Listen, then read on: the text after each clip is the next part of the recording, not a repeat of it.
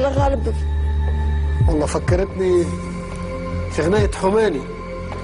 عايشين كيف الزبلة في بوبالة تارا تارا تارا. حماني. وانت رافضة انك تعيش كالزبلة في بوبالة هكا ولا؟ إيه. رافضة انك تعيش كالزبلة في بوبالة